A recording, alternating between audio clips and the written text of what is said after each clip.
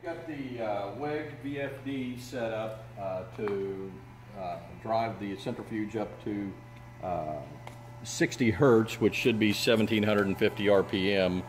Uh, it will accept anywhere from 380 to 480 for input voltage, either 50 or 60 hertz. So uh, that should be good for your application. And I've also set a 100, 100 second ramp up time, so it doesn't bring it up to speed instantly. It'll accelerate over 100 seconds and decelerate over 100 seconds. So I'll go ahead and hit the go button and uh, I believe I'm set to show RPM here on the screen. So as you can see here, it should be ramping the unit up.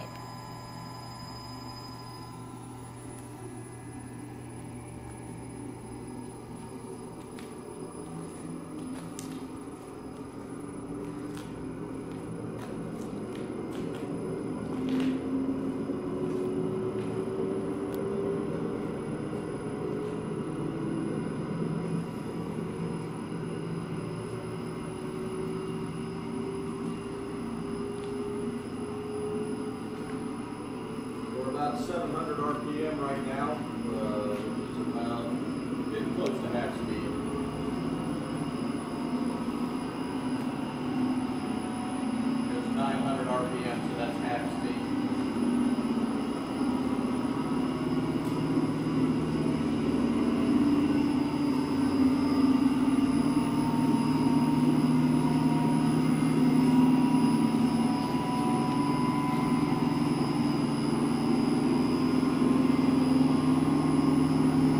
1300 RPM. That's about three quarters right there.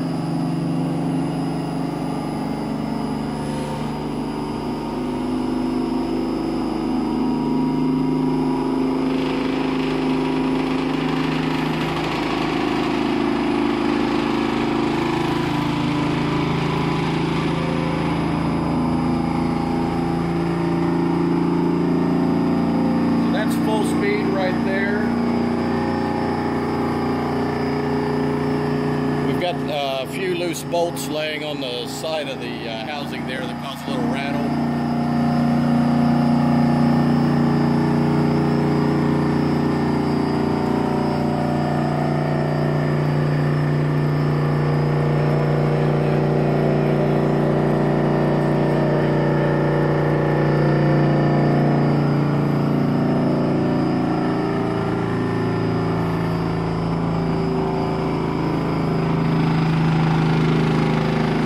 These are actually the solenoids that are laying there that uh, at a certain frequency had a little rattle.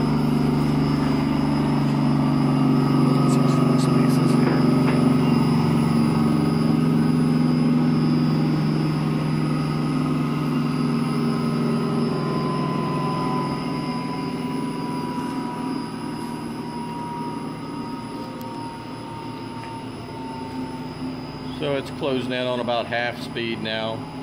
And you can play with the acceleration and deceleration ramp. It's all in the uh, VFD manual if you wanted to ramp up or down quicker.